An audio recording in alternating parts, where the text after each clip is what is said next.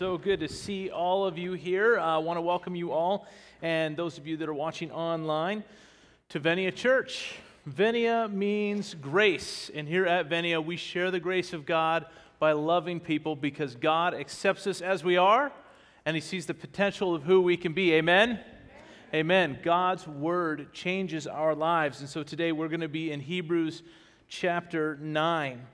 And I want to talk to you today about how Jesus is the subject of a parable. A parable is an earthly story uh, that, that's told. So it's telling something that's kind of a common everyday thing. Uh, if you were today to talk about you know, going to the soccer field and hanging out at the soccer field, most families understand that. Or, like we said, we're going to the baseball game. These are common things in society, everybody understands. So oftentimes Jesus taught in parables, he would teach a very earthly thing, something that everybody was accustomed to, everybody was familiar with. The only thing is, uh, it, it, wasn't necessarily an earthly story. It was, it was trying to bring about a very spiritual meaning, a very heavenly meaning. So Jesus taught like that all the time. One of the uh, times he talked about the uh, parable of the sower. And so, you know, farming was pretty common back then. Nowadays, you know, people go to the grocery store buy their food, but then it wasn't like that. You know, they had markets and stuff, but most people were involved in farming in some way, and if they weren't involved in it, at least took place all around them. And so, a sower, a person who's putting seed out there to grow, uh, that would be something that people saw on a regular basis. And so Jesus was saying that there's a man who went out to sow in the field. So he's taking, he's taking the seed and he's just scattering it. And everybody can get a picture of what's going on there. The seed kind of gets scattered around, and some of it gets snatched up by the birds, and others gets lands on you know, a place where people are walking, and so it just gets smashed on the ground. Others grow on you know, really fertile soil and grow healthy. Others uh, would grow on that, you know, in the weeds and stuff like that. And so this is an earthly story, but what Jesus was trying to bring out was a very heavenly meaning. And so we see that the Word of God is the seed, and that's what gets spread out to the world, and how it's received can be, you know, can depend on where it falls. And that soil is our hearts. How do we receive the Word of God? So you could see he's taking this earthly story and bringing about a heavenly meaning. He, he taught like that all the time. He taught about the parable of the lost sheep and how a shepherd, if he's got 100 sheep and one of them goes missing, he's going to leave the 99. He's going to go and find the one that was missing. And when he does find it, he's going to carry it back. He's going to be so excited he found it. He'll go and get his friends, and together he and his friends are going to rejoice that they found the one that was lost very earthly thing. People understood that, and yet, heavenly, he was talking about us as people as we go astray, and he is our good shepherd, and he seeks to find the people that are lost. And when he finds them, he celebrates. He and his friends, in other words, he and the angels are throwing a party and rejoicing when one person that was lost is found. So, again, earthly story heavenly meaning. What we're going to find this morning is that Jesus is the subject of a parable. In the Old Testament, there was literally a parable, an earthly story being played out. And the Israelites were part of this story. They were, they were living out something that was very earthly, easily understandable, and yet this thing entirely was pointing to Jesus. And so Let's find out what this parable is in this morning's message entitled Why Jesus is the Parable of the Tabernacle as we continue our study through the book of Hebrews. Remember, the book of Hebrews is written to first century Jewish believers. Uh, so these are men and women who were raised up in Judaism. They have now given their faith to Jesus. And uh, as they've given their faith to Jesus, persecutions are starting to settle in. Uh, they're starting to get discouraged about their Christianity. And so their mind's tendency is to go back uh, go back to Judaism, go back to what they already know. Uh, and we do that as believers too. As we give our life to Christ, there's, there's these moments in our lives where we think, well, gosh, you know, if I, if I was still like that, you know, I could accomplish so much more, but I have, I, I'm trying to move forward being a Christian, and now there's, you know, people are coming against me. And so, these people were discouraged. And, and the author is trying to get them to be encouraged. And through this, we're talking about Jesus and asking the question, why? Why Jesus? There's so many different religious figures out there. There's so many different religious systems. Why Jesus? Why is it that we follow after him? Why is he the most important religious figure to ever walk the earth? Why do we put our faith in him? Why Jesus? Uh, last week we talked uh, about Jesus and answering the question why Jesus is relevant. And in all matters of life and death and life after death, Jesus is the most relevant solution to everything that we face. And so if you missed that, go to venia.tv forward slash sermons and you can check that out. But part of the reason for Jesus being the most relevant was that Jesus rules from a superior tabernacle. And we talked about that last week. Uh, today, what we want to do is talk a little bit more about the earthly tabernacle. And uh, how that tabernacle was a parable and how that parable points us to the new covenant and to Jesus Christ. Now, in speaking of this tabernacle, verse 9 of our text this morning, verse 9 of chapter 9, it says that the tabernacle was symbolic for the present time. Maybe your version of the Bible says that it was an illustration, or it may say it was a figure. What this is, is from the Greek word parabole, which is where we get our English word parable. And so, how was this earthly tabernacle a parable? How was this structure and everything that was inside of it and all the rituals surrounding it? How did these things give us a very heavenly meaning? This is what we're going to find out in our message. Now, uh, before we get into it, I'm going to throw a, a picture up here. Uh, what I want to do this morning with all of us is I want to just take a, a walk, basically. Uh, this is a a very crude diagram of the tabernacle proper. Uh, all the area around it, what you would find on the property there. And what I want to do is basically come in through the gate here of the tabernacle. We're going to walk through the tabernacle proper and talk about the different items. And basically, what's happening is as we walk through here, we find ourselves in the Holy of Holies, the most holy place, the, where the very presence of God was there inside the tabernacle. So we're going to walk through, and as we walk through, basically what we're doing is getting closer and closer to the very presence of God. So let's take a look at verse 1 of chapter 9. And there it says, Then indeed, even the first covenant had ordinances of divine service and the earthly sanctuary, for a tabernacle was prepared. Let's pause there for just a moment. We're going to take a look at all these things as we, as we make this journey inward towards the presence of God. And we're going to talk about how it's an earthly thing, and yet it still has that heavenly meaning. It's still pointing us to Jesus. And so the tabernacle. Tabernacle is an earthly thing. All it is is a movable dwelling place, it's a tent. And so, it, tabernacle wasn't just for God. People used tabernacles, they moved these dwelling places from place to place. So here's an earthly thing, and yet it has a heavenly meaning. John chapter 1, verse 14 says that the Word became human and made his home among us. Who are we talking about here? Jesus. Who are we talking about here? Who, who are we talking about here? Oh, there we go. Okay, we're talking about Jesus here.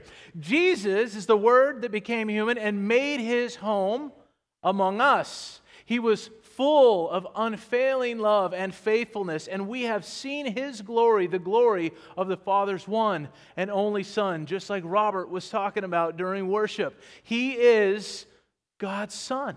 And he made his home among us. That, that term that, that Jesus made his home among us is tabernacle. You could literally say, God tabernacled amongst us.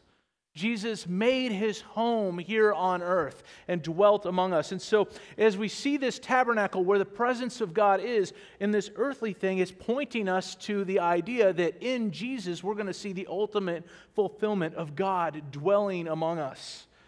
Now, if we can put the, the um, picture back up, what happens as you step onto this property, you're going to come, like I said, you're going to come into view of certain things. The first thing that you show up at is the brazen altar of burnt offerings. And so sin needed to be made atoned for. There at the brazen altar of burnt offerings, they would sacrifice a lamb. This lamb had to be unblemished, it had to be a perfect lamb, a perfect sacrifice. So there, and th- this wasn't specific just to Judaism. It wasn't specific just to to God's true people because anywhere where God institutes something, the enemy's always there to try to replicate it and copy it and make his own version of it. So animal sacrifice went beyond Judaism and other people were doing it. So no matter who showed up to take a look at this, it, it was pretty common to everyone that somebody would make a sacrifice of an animal to their God. So that's the first thing that you would see is this place where an unblemished lamb was to be sacrificed. Now, the purpose of the sacrifice was to cover sin. Notice I say cover, not remove. It, was, it, was, symbolically covering, we're going to talk when we get to the mercy seat, but it was symbolically covering the sin of the people. Very earthly thing, but it had a very heavenly meaning. John chapter 1, verse 29 says, The next day, John saw Jesus coming toward him and said, Look, the Lamb of God who takes away the sin of the world. And so Jesus is that perfect sacrifice. Jesus is the Lamb of God who takes away the sin of the world. Doesn't cover the sin of the world, but does what? Takes it away, literally removes it. And so, what you see in the tabernacle at that that altar of burnt offerings, that is symbolic. It just symbolically covers, and yet the fulfillment, this heavenly meaning, is Jesus, where Jesus literally removes the sin, He takes it away. Let's move forward from there. So, first thing you see is that, that altar of burnt offerings. The next thing you would come into contact with is the brazen altar. I'm sorry, the brazen laver. A laver is simply a wash basin. So, the, there the priests would show up to wash their hands and wash their feet. Why? Because they just killed animals, right? And what happens when you kill an animal? It's bloody, it's dirty, it's messy. So they got their hands dirty. They got blood on their hands, literally. And so here they, they go from this place where they would sacrifice the animal to the next place where they would wash their hands, wash their feet. Uh, again, this is earthly. Anybody who's ever worked in a butcher shop understands this. After you've done that, you need to get washed up. So they would go from the, the altar now to the laver. They'd wash their hands, they'd wash their feet. Again, earthly, and yet it has a very heavenly meaning. It's pointing us to Jesus. Jesus washed the feet of his disciples. We've all heard this story of Jesus washing his disciples' feet. And yet, a lot of people don't know what's actually going on there and why he did that. You, you may notice when you read that story that Peter said, Don't wash just my feet, Lord, wash my whole body. Eh, I, I want to be clean in your presence. I want to be made right. Don't, don't just do my feet, do the whole deal. And Jesus is like, No, no, hold on a second. You've already been clean. And so, what this is referring to there is being born again in Christ and having the forgiveness of your sins. When Jesus forgives you of your sins, He's forgiving the past, the present, and the future. He's wiping it all clean. You are clean. And then what happens? You get baptized. You, you come into a saving knowledge of Christ, and then you get baptized doing what? Symbolically identifying with Jesus Christ, identifying with His death, His burial, the resurrection. So when we go in the waters of baptism, we put you underneath the water, symbol of death and burial we bring you back up, a symbol of resurrection into new life. We're, we're identifying with Jesus Christ. So, the point that Jesus was making in washing the feet is listen, you've already got your whole body clean. Now, what's going to happen is you've got your day to day stuff. You're going to get dirt on your feet. You're going to you're going to make mistakes. And what you got to do is just come to me and clean off your feet. Get, get, get right with God. He's talking about daily coming to the Lord, confessing your sin daily, and just saying, Lord, I, I messed up. Uh, make me clean. Clear my conscience. Give me a new day. Let me start over. And so this is what it's talking about. So symbolically here, where, yeah, they've already gone through their ceremonial bathing, now they're just washing their hands and their feet, speaks of the future and what Jesus was talking about. And the idea is you can't just barge into the presence of God without dealing with your sin. You know, they're about to enter into the Holy of Holies. They need to be made right, they need to be clean. So, continuing on, verse 2, we see the first part, which was the lampstand. So, this is the second part of uh, verse 2. It says, The first part, in which was the lampstand, the table, and the showbread, which is called the sanctuary. So now we're actually inside the tabernacle. We've walked onto the tabernacle proper. We've passed this altar. We've passed the brazen laver. We've gone through the entrance or the first veil, if you will. We've gone in through that entrance. We're inside the tabernacle now. We're not inside the Holy of Holies. We're not in the very presence of God yet, but we're right outside of it. And there's a few things that we find. As you walk in and you turn to the left, the first thing you see is a golden lampstand. This gold, it's a seven branch lampstand. And the idea there is when you would walk in, there were several layers of animal skins. This, uh, the the uh, tent material all the way around it was very, very thick. It was super, super thick. There was no light getting in there. And so once you were to walk inside and find yourself in this tabernacle, pitch black, walking around in utter darkness. So the need for a lampstand. This lampstand would be in there to give light to the room so you could see and be guided in your, your um, task that you had to carry out once you were inside. So that's an earthly thing. Everybody then and even now understands the need. You're in a dark room, you need to give light to the room. Heavenly, though, this is a foreshadow of Jesus Christ. John chapter 8, verse 12. Jesus told us something. He says, I am the light of the world. If you follow me, you won't have to walk in darkness because you will have the light that leads to life. I don't have to convince you guys. We live in a dark world. Even people who haven't given themselves over to Jesus, they understand this. They understand that we're walking around in darkness. How, how do we know this? Because they're searching for light. They talk about enlightenment. Oh, I just want to be enlightened. Oh, I want to be. But the problem is they're searching out darkness to try to enlighten their life. They're, they're searching out darkness as their source of enlightenment. And Jesus says, Look, you're searching out darkness. I'm the one with the light. I am the light. If you'll just seek me out, you won't have to walk around in darkness anymore. And so, this dark room with this light, giving light to this dark room and lighting the path and showing the way and, and helping to reveal what was there. This was a foreshadow of Jesus. And now, as we see Jesus, he says, I am that light. I'm exactly what you need to not have to walk around in darkness anymore. Right there in that same room, on one side, you've got an earthly thing, a lampstand. On the other side, you have a table.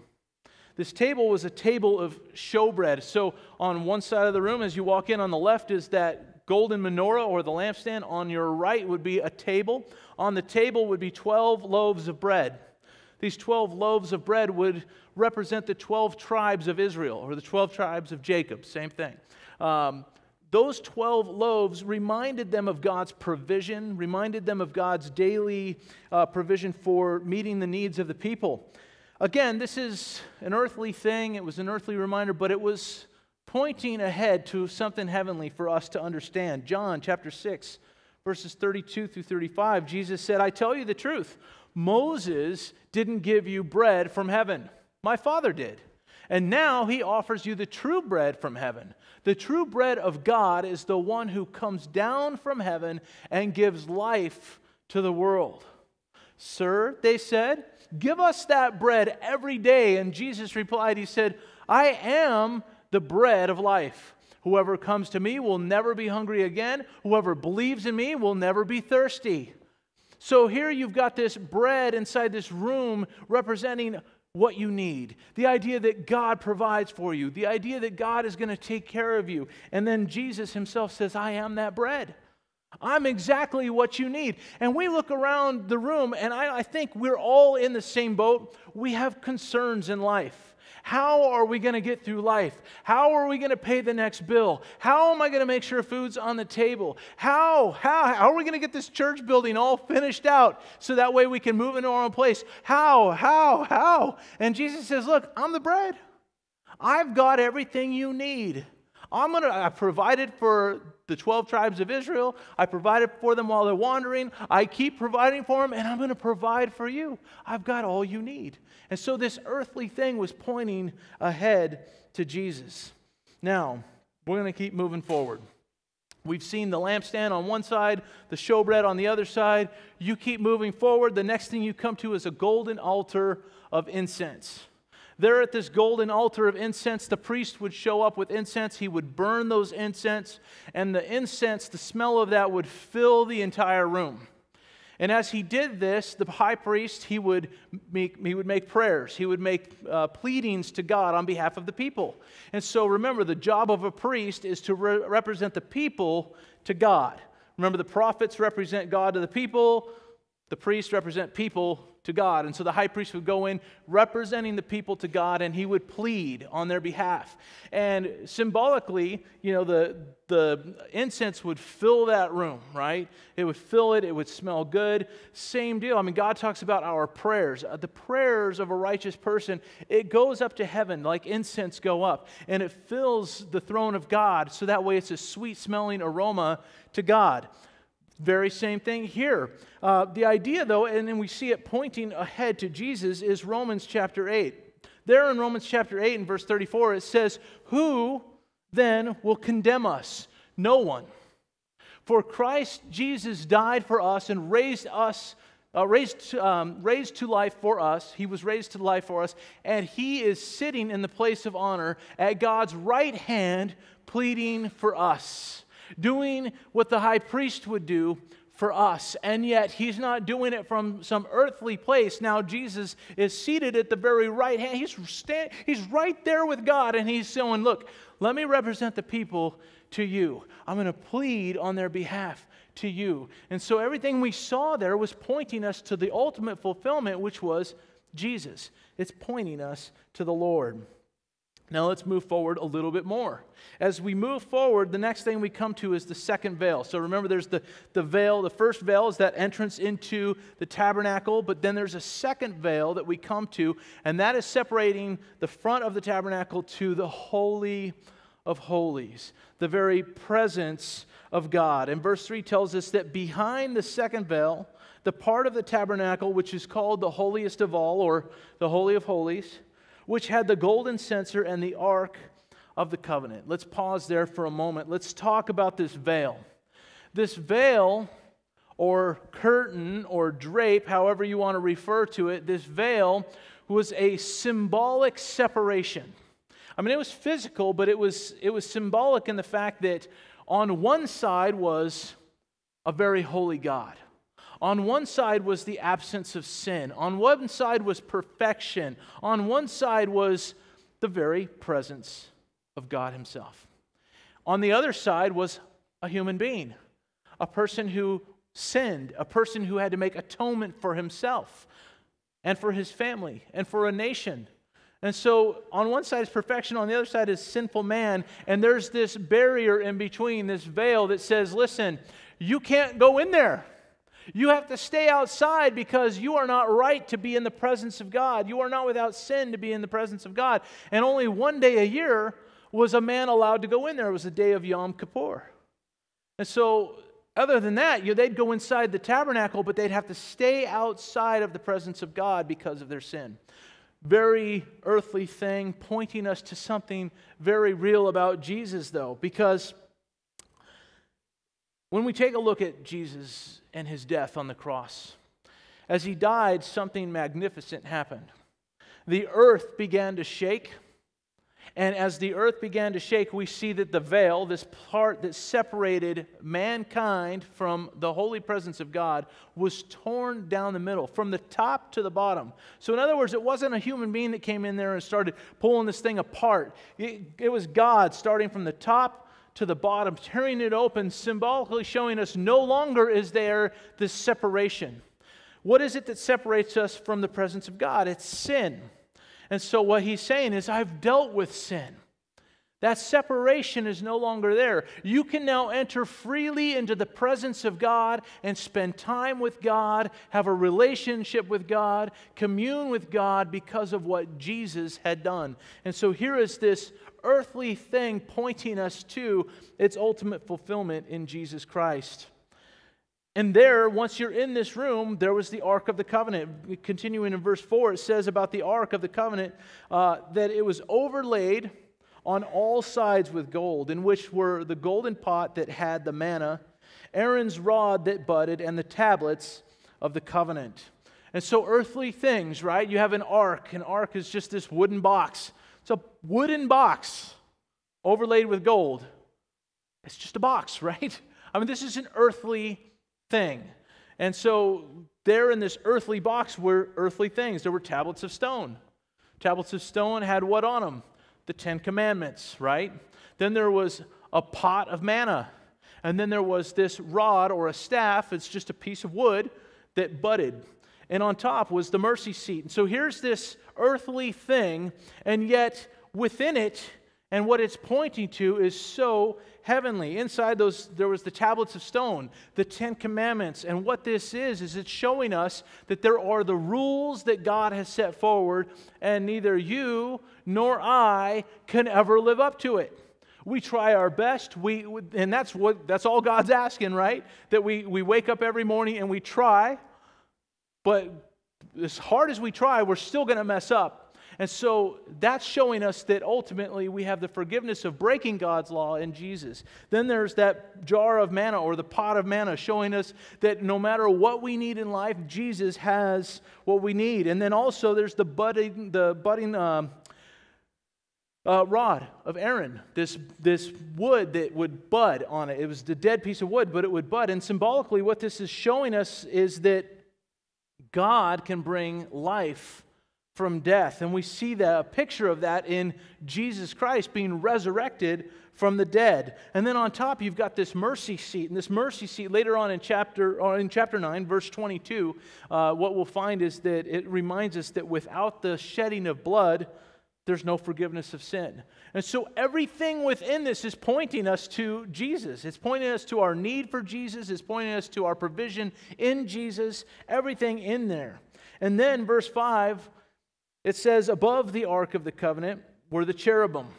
Cherubim are a type of angels. It says that there they were, these cherubim of glory, overshadowing the mercy seat of these things we cannot now speak.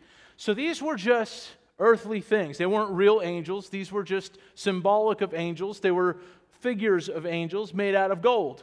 There, one on one side, one on the other. These figures, earthly things, right? And yet they point us to Jesus. And notice it says, we can't even speak about this in detail. Why? There's so much to say about this. There's so many implications about the angels and Jesus that, that are important. And he says, we, we don't even have time to talk about it, and we really don't this morning, but I just want to give you a few things so we can understand why this is in here. When Jesus was born here on earth, who was there? Angels. When Jesus was tempted, who was there? Angels. When Jesus was going through his agonies, who was, who was there? Angels. When Jesus was in, his, in when he was being resurrected, who was there?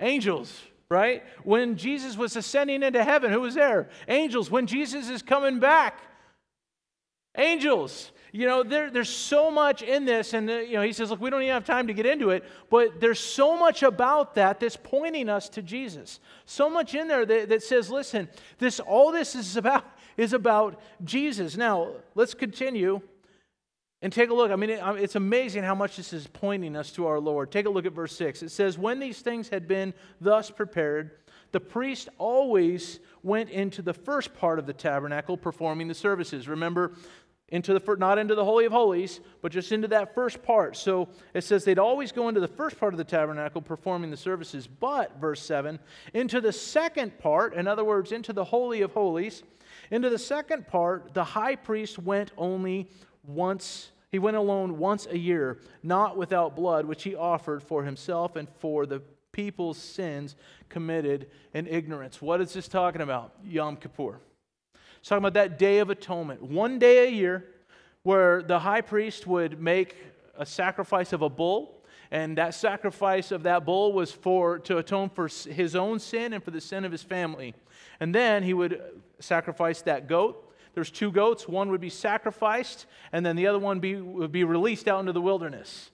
That was the scapegoat. Symbolically, the sin was let out of the camp. So on that day, he would go into the Holy of Holies The atonement was made, covering, symbolically covering the sin. And so he would go in, uh, but only once a year. Now, this all, I mean, they would live this out. This was a part of their culture, this was a part of their day to day life. But it was a parable, it was an earthly thing pointing us to Jesus. And so, what's the point of all of this? Well, I would ask you, what's the point of any parable? Well, why did Jesus teach in parables? He wants us to understand.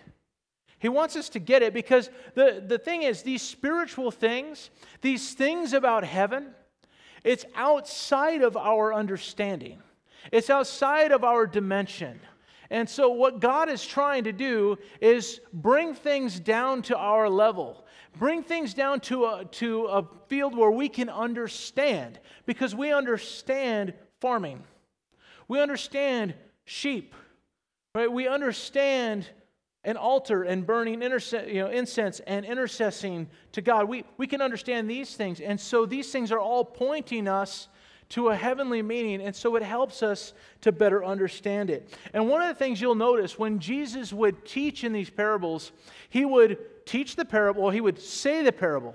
He'd tell the story of, of the shepherd who had a hundred sheep and one got lost, and so he left the 99 and he went to find one. So he would tell these earthly stories, and then he'd just kind of walk away.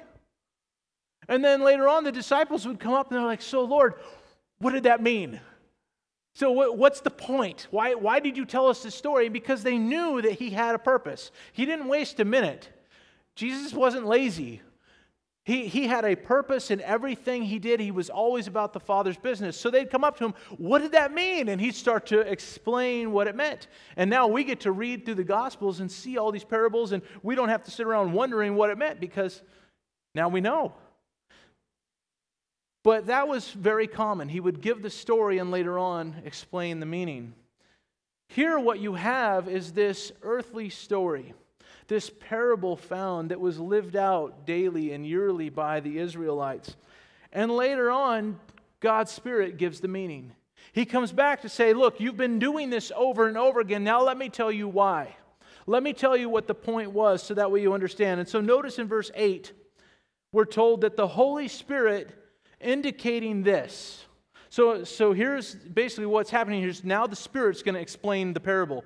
So indicating this that the way into the holiest of all, in other words, the way into the very presence of God. So the, the Holy Spirit's going to explain this now. To get into the very presence of God, that way was not yet made manifest while the first tabernacle was still standing. Verse 9, it says, it was symbolic. Here's where we began today's message. It was a parable uh, it was that word parabole where we get our word parable. This whole thing, all these sacrifices, all the washing of your hands, all these things that you did, the light and the manna, all these things were pointing you to the place where you could find your way into the holiest of holies, where all people could find their way. It says it was symbolic for the present time, there in verse 9, in which both gifts and sacrifices are offered, which cannot make him who performed the service, who is that? The priest, right? It cannot make him who performed the service perfect in regard to the conscience, concerned only with foods and drinks and various washings and fleshly ordinances imposed until the time of Reformation. What is his point in saying this? He says, listen, if all the washing of your hands and all the sacrifice and all the burning of incense and all of these things, if that, all those rituals couldn't even make the priest perfect in his conscience, and he's the one that's doing it, if it couldn't even work for him, how's it going to work for all of you? Right? That's what he's saying.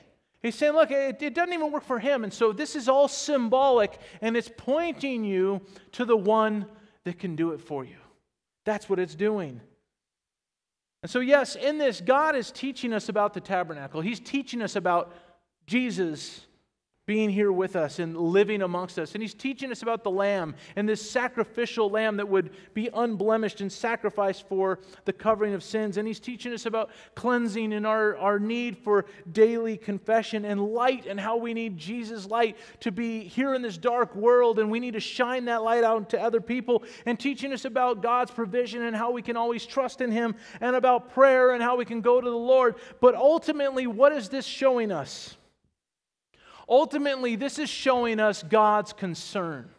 It's showing us what God truly cares about. What is it He cares about? You. That's what it is. That's what God is concerned with. He's not concerned with people washing their hands. See, that's the point that he's making. It's like people are going through these things and it becomes about washing your hands. And the hands have to be all clean. It has nothing to do with your hands. He's saying, listen, what I want you to do is I want you to understand that I am concerned about your eternal well being and I have what's best in store for you today. I'm concerned with your conscience being cleared and you being able to live the way I've called you to live. But what happens when, when you don't give your life over to Jesus and you don't accept that He's the one that can do this, you don't have a cleared conscience. And so what happens is all the problems of yesterday start to eat away at your body. You literally start to get so stressed out about what you've done and the consequences of those things. It eats at you so much that you literally become sick. You know what I'm talking about. I know this the consequences of our sin is terrible and it eats us up. And what God says is, look, you don't have to worry about that. You can have a clear conscience. What happened yesterday was yesterday. I've already forgotten about it. I've cast your sin as far as the east is from the west. You don't have to worry about it, but the enemy wants you to. The enemy wants you to focus on everything you did yesterday. And guess what? If he can't get you to focus on everything you did yesterday, he wants you to focus on tomorrow.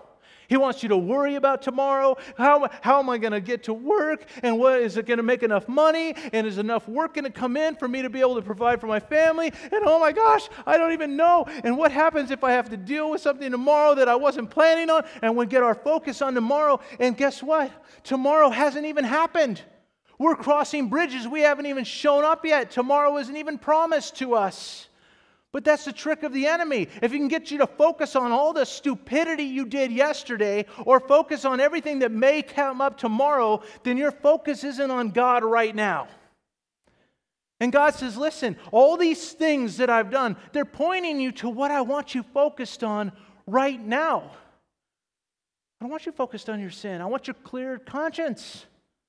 I want you to focus. Some of you are walking in here today and you're like, whew, you don't know how glad I am to hear that, Pastor Tim, because you wouldn't believe what I did yesterday. I feel so good to know that I don't have to I don't have to worry about that. All I have to do is confess today, God, you know I messed up. I'm so sorry. I'm sorry I broke your heart. But I'm glad you've forgiven me. Today I'm going to I'm going to live today saying it's the day you've made. I'm going to do what? There you go. Rejoice and be glad in it. Don't worry about yesterday. Rejoice in today. You can't go back to yesterday. Don't worry about tomorrow. Tomorrow has enough worries of its own. Consider today. What does God want for you now? God wants your focus on Him. Satan's trying to steal that. Satan's trying to redirect it to things that don't matter anymore. That's what Satan's trying to do. Let's have our focus where God wants it. Amen? His concern is with you. Let's pray right now. Father in heaven, we are so grateful